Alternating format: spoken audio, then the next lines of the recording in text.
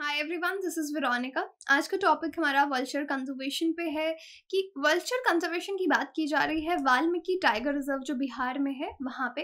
इसके बारे में डिटेल में हम जानेंगे। आपकी कोई भी क्वेरी हो, आप मुझसे कनेक्ट कर सकते हैं सोशल मीडिया पे because I feel together we can make a huge difference चाहे फेसबुक पे इंस्टाग्राम पे टेलीग्राम पे पीडीएफ जो है वो आपको सिर्फ़ और सिर्फ़ मेरे टेलीग्राम चैनल पे ही मिलेगा। बाकी बिहार स्टेट एग्ज़ाम्स के बारे में बता दूँ स्टडी आईक्यू के पास सारे स्मार्ट कोर्सेज अवेलेबल हैं। Bihar PSC Bihar judiciary Bihar SSC Bihar GK TT SI आप हमारी साइट विज़िट कर सकते हैं एप्लीकेशन डाउनलोड कर सकते हैं जो नंबर आपको नीचे दिख रहा है, उस पर कॉल करके इनके बारे में जानकारी ले सकते हैं। Coming back to the topic vultures पे काफ़ी टॉपिक्स मैंने कवर भी किए हैं। पहले अगर आप वल्चर स्टडी आई क्यू लिखेंगे तो आपको सारे टॉपिक्स जो भी वल्चर्स पे कवर हुए हैं, वो स्टडी आई क्यू पे दिख जाएँगे। करंट अफेयर रिलेटेड जैसे रिसेंटली मैंने बनाया था।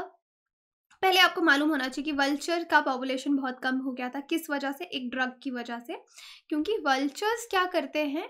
डेड बॉडीज़ पे फ़ीड करते हैं। डेड एनिमल्स की बॉडी पे फ़ीड uh, करते हैं कैरकासेस जिनको हम बोलते हैं लाइफ स्टॉक पे फ़ीड करेंगे उनकी बॉडीज़ पे।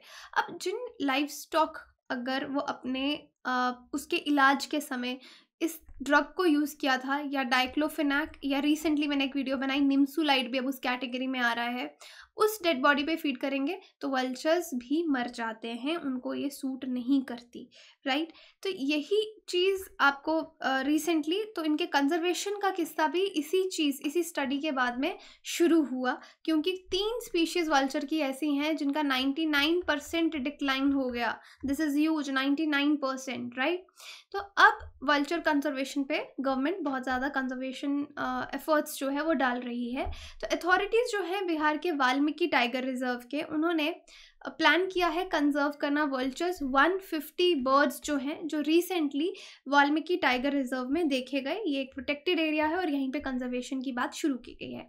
तो यहाँ पे पटना न्यूज़ में आप देख सकते हैं forest officials propose vulture conservation in Valmiki tiger reserve in Bihar.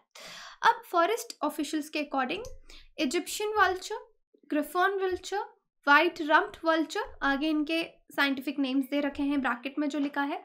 Himalayan griffon ये 150 इंडिविजुअल्स इन्हीं स्पीशीज़ के इस एरिया में स्पॉट किए गए हैं। क्योंकि वल्चर ऑलरेडी इनकी पॉपुलेशन कम हो रही है। uh, एक तो डिटेल्ड वीडियो स्टैटिक वल्चर पे मैंने बना रखी है स्टडी आई पे। रिसेंटली निम्सुलाइड को लेके बनाई है डाइक्लोफेनाक को लेके भी बनाई है। बांग्लादेश पहला देश है जिसने वल्चर से जिन ड्रग्स की वजह से वल्चर्स की डेथ होती है, उनको बैन कर दिया, पहला देश बन गया, उस पर अलग से वीडियो तो ये सारे करंट अफेयर वल्चर को इंपॉर्टेंट बनाते हैं कि एग्ज़ाम में हो सकता है इन्वायरमेंट के सेक्शन में इस पर सवाल पूछा जाए okay so be careful prelims is approaching अब about seventy five to eighty vultures जो हैं, ये हाईएस्ट नंबर है। इनको गनौली रेंज जो है followed by Madanpur and others वहाँ पे स्पॉट किया गया। इस एरिया में वल्चर्स को देखा गया। अब जो प्रपोज्ड प्लान है वल्चर कंजर्वेशन का, वो भेजा गया है आईडीडब्ल्यूएच को। आईडीडब्ल्यूएच क्या है? Integrated development of wild life habitats इनको ये प्लान अप्रूवल के लिए बेचा, भेजा गया है। आफ्टर अप्रूवल एक बार I D W H approval दे देगा तो जो फॉर्मल तरीके पे वल्चर कंजर्वेशन प्रोग्राम है, वो इन जितने भी ये एरियाज़ हैं, यहाँ पे फाइव रेंजेस जो हैं, जहाँ पे वल्चर्स आपको दिखते हैं, वहाँ पे ये शुरू हो जाएगा। तो इस प्लान के अकॉर्डिंग रेस्क्यू सेंटर जो वल्चर्स के लिए है, वो गनौली रेंज में सेटअप किया जाएगा।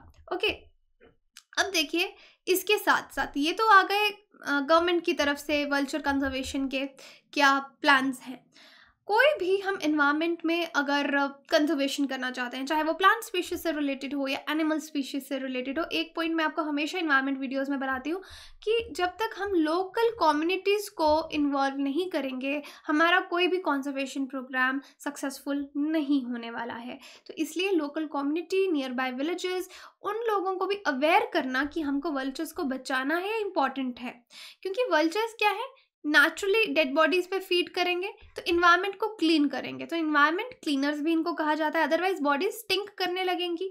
तो ये कैंपेन भी लॉन्च हो रही है स्ट्रीट मीटिंग सेमिनार्स गाँव में। वल्चर का इंपॉर्टेंस लोगों को समझाया जाएगा कि इसको सेव करना कितना इंपॉर्टेंट है। और स्टेट गवर्नमेंट ने एक प्लान किया है diclofenac free zone for conservation of vultures diclofenac वहाँ पे नहीं यूज़ की जाएगी एनिमल्स के लिए, कोई ऑल्टरनेटिव यूज़ किया जाएगा, ये जो एरियाज़ है बॉर्डरिंग नेपाल करंट प्लान यही है और मेजर स्टेप इस डायरेक्शन में ये लिया जाएगा कि डाइक्लोफिनैक को यूज़ नहीं किया जाएगा। अदरवाइज़ एनिमल्स के लिए डाइक्लोफिनैक निम्सोलाइड ये वाले ड्रग्स यूज़ किए जाते थे।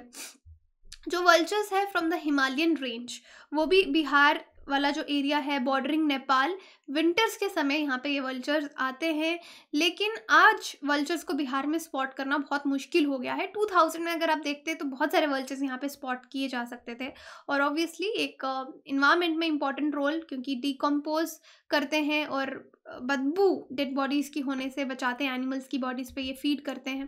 कंजर्वेशन स्टेटस अगर आप वल्चर का देखेंगे तो क्रिटिकली कुछ स्पीशीज़ इनकी ऑलमोस्ट नाइन स्पीशीज़ इंडिया में पाई जाती हैं। और उनमें से कुछ क्रिटिकली एंडेंजर्ड हैं, जैसे white back white backed vulture ropers vulture Indian vulture slender billed vulture endangered है केप वल्चर नियर थ्रेटेंड है हिमालयन वल्चर लीस्ट कंसर्न है ग्रिफॉन वल्चर अब फोकस्ड स्पीशीज कौन सी हैं कंजर्वेशन की? ये तीन. ये तीन स्पीशीज जो हैं, इनके बारे में आप समझ लीजिए कि इनका पॉपुलेशन 99 परसेंट जो था वो कम हो गया था और तीनों की तीनों क्रिटिकली एंडेंजर्ड स्पीशीज हैं। वल्चर्स के बारे में one of the 22 of the large carrion eating birds that are living predominantly the tropics and subtropics बहुत सारे स्पीशीज इनकी हैं और कुछ अराउंड 22 स्पीशीज इनकी ट्रॉपिक्स एंड सब ट्रॉपिक्स में पाई जाती हैं। नेचर का इन्वायरमेंट क्लीनर गार्बेज कलेक्टर भी इनको कहा जाता है। वल्चर्स वैल्यूबल रोल प्ले करती हैं वाइल्ड लाइफ डिजीजेस को चेक में रखने के लिए। Okay okay. और इंडिया में आपको मैं ऑलरेडी बता चुकी हूँ नाइन स्पीशीज वल्चर की पाई जाती हैं oriental white backed long billed slender billed Himalayan red headed Egyptian Egyptian bearded cinereous and Eurasian griffon और नाइन स्पीशीज ऑलमोस्ट इनको एक्सटेंशन का डेंजर है कि ये एक्सटिंक्ट हो सकती हैं। तो ये रिसेंट वीडियो है जिसकी मैं बात कर रही थी कि निम्सोलाइट पहले तो सिर्फ़ डाइक्लोफेनाक था, अब निम्सोलाइट भी उस कैटेगरी में आ गया है। एक स्टडी बता रही है कि निम्सोलाइट की वजह से भी वॉल्चर की डेथ्स हो रही हैं। गुजरात में भी इस तरह की रिपोर्ट जो है वो देखने को मिली।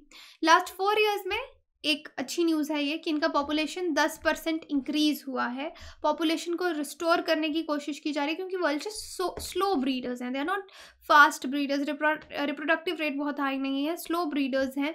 और अगर ये एक्सटिंक्ट हो गए तो एक रिपल इफ़ेक्ट होगा। रिपल आप समझते हैं, पानी में आप पत्थर मारते हैं तो रिपल्स क्रिएट होते हैं राइट क्योंकि अगर वल्चर एक्सटिंक्ट हो गए तो इनके नीचे के जो एनिमल्स हैं, उन पे इसका इफ़ेक्ट देखने को मिलेगा। जो बाकी के स्क्वेंचर्स हैं, जैसे रैट्स हो गए डॉग्स आ गए, वो टेक ओवर कर लेंगे, क्योंकि अभी टॉप प्रीडेटर आपका वल्चर है जिस एरिया में। लेकिन अब वहाँ पे डॉग्स और रैट्स हो जाएँगे टेम्प्रेरली और इससे प्रॉब्लम्स जो है, वो इंक्रीज हो जाएँगी। जैसे रेबीज हो गया, या जो रैट्स रैट की वजह से प्लेग होता है डॉग्स की वजह से रेबीज होती है तो ये डिजीजेस इंक्रीज हो जाएँगी अगर ये टॉप प्रिडेटर्स बन गए। तो आप यहाँ पे वल्चर का कंजर्वेशन इम्पॉर्टेंस समझ आपको बता रही हूँ कि कितना इंपॉर्टेंट है। ये एक स्क्रीनशॉट आप ले सकते हैं कि जो भी हमने डिस्कस किया क्राइसिस क्या है, किस तरह से इसको हम नेशन वाइड सर्वे में कवर करने की कोशिश कर रहे हैं। और मैंने शुरू में मेंशन किया था वाल्मीकि टाइगर रिज़र्व में वल्चर को हम कंजर्व करने की बात करेंगे। यहाँ पे इनको स्पॉट किया गया। While, Valmiki tiger reserve India Nepal border जो वेस्ट चंपारण डिस्ट्रिक्ट है बिहार का, वहाँ पर लोकेटेड है। Easternmost limits Himalayan Terai forest का आता है। गैंगटिक प्लेन्स में है। बायोजोग्राफिक जोन है देश का, जहाँ पर ये रिज़र्व है। Total forest area 900 square kilometre है डिविजन्स दो हैं फॉरेस्ट रेंजेस एट है। किस तरह के एनिमल्स यहाँ पे पाए जाते हैं? टाइगर्स एक्सक्लूडिंग नाइन कप्स तो 29 हो गए। लेपड्स अराउंड 65 और एक रायनासरॉस भी है वाल्मीकि टाइगर रिज़र्व में। प्रोजेक्ट टाइगर 1994 मार्च में इस्टेब्लिश किया गया था। I mean Valmiki tiger reserve, क्योंकि प्रोजेक्ट टाइगर तो बहुत पहले से शुरू हो गया था राइट right? तो 1994 मार्च में ये एरिया यहाँ पे इस्टेब्लिश किया गया था। Under project tiger, Indian flying foxes भी यहाँ पे आपको दिखेंगी, और एक ट्राइब है यहाँ पे थारू करके, वो यहाँ की डोमिनेंट कम्युनिटी है वाल्मीकि नेशनल पार्क की। फ़र्स्ट अप्रैल 1973 में आपका प्रोजेक्ट टाइगर जो है वो शुरू किया गया था। कि नेशनल एनिमल है रॉयल टाइगर इसको कंजर्व करने के लिए प्लान लाया गया था। In the context of Indian wild life flying fox क्या है? 2009 में क्वेश्चन आया था बैट काइट स्टॉक वल्चर। तो बताइए फ्लाइंग फॉक्स क्या है? बैट है काइट है स्टॉक है या फिर वल्चर है? ये आप मुझे कमेंट uh, सेक्शन में बता सकते हैं अदरवाइज़ टेलीग्राम पे इसका आंसर जो है वो अपडेट कर दिया जाएगा। पोल के थ्रू डू पार्टिसिपेट, पीडीएफ भी आपको वहीं मिलेगा। बाकी आप हमारी वेबसाइट विज़िट कर सकते हैं, एप्लीकेशन डाउनलोड कर सकते हैं कोर्सेज की जानकारी के लिए। नीचे दिए हुए नंबर्स पे भी कॉल कर सकते हैं। Thank you so much.